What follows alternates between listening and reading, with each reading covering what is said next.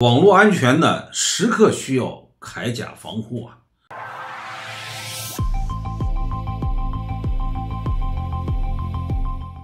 大家好，我是紫堂英迈。近日呢，外交部发言人毛宁呢，这个对这个国家网安组织啊提供的报告呢，向这个外界呢做了四点解释。主要的一点呢，就是你美国啊，在这个网络安全上呢。这个自导自演啊，甩锅中国啊，是这个问题就是呢，我们大家啊，天天每时每刻都在用的网络呢，那这个盗贼呀，简直是满天飞呀啊！尤其是美国通过这个监控这个海底电缆啊等等的全球的这个网络呢，它是在自导自演呢，在这个网络安全上呢，做了很多的坏事啊。攻破我们西工大的这个网络，还有我们其他企业的一些网络。据这个这个网安系统的这个报告，嗯，好像有四千五百万起这个对这个网络。所以说呢，我们每一个人呢，每一个企业，每一个组织啊，国家呀，在这个网络空间里边这个安全呀，要特别的要高度的重视啊。网络安全就像我们在航空航天领域啊，在这个。边海防这些领域啊，这种安全呢，它是一样的，同等的重要了。最近这个外交部发言人毛宁呢，他在这个就是特别提到了一个叫福特台风，这个美国呢甩锅呢是中国的黑客啊，中国的黑客这个呃攻陷一些这个呃美国的企业呀，美国的科技企业是在帮凶啊，呃特别提到了微软公司啊也在。帮凶，这个美国在自导自演。什么叫自导自演呢？就是说呢，美国杜撰了一个呃，这个福特台风这么一个黑客组织，说是中国政府资助的啊，他这是在这无中生有啊，他也是为了这个甩锅呀，为了向国会要钱呢。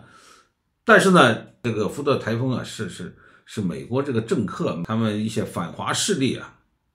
等等的组织的这么一个。黑客组织啊，攻陷我们的这个西西北工业大学网络，攻陷了我们一些企业的一些网络啊。最近咱们国家这个网络安全组织啊，还有什么三六零一些企业组织，就是把这个在网络上作恶的甩锅中国的这个组织啊，给这个揭露出来，那，向全世界公开啊，是你美国自导自演的，在这个网络上。嘛，这个海底电缆监控中国，通过就是说，在这个整个的全世界网络，因为美国这个很多这个因特网络的根网站呢，都是在美国控制着，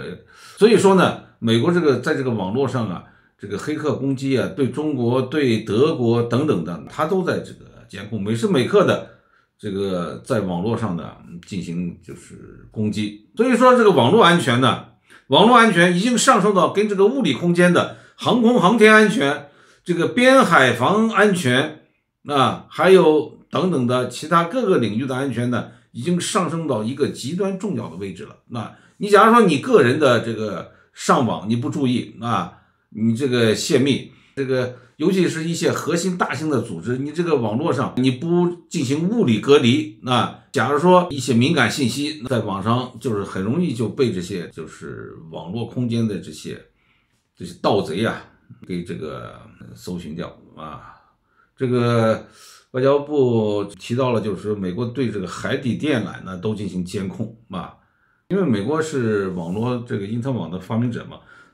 他们对这个网络的这个攻击啊是非常厉害的。所以说呢，我们要时时刻刻的要高度的这个警惕啊，这个网络被攻击，要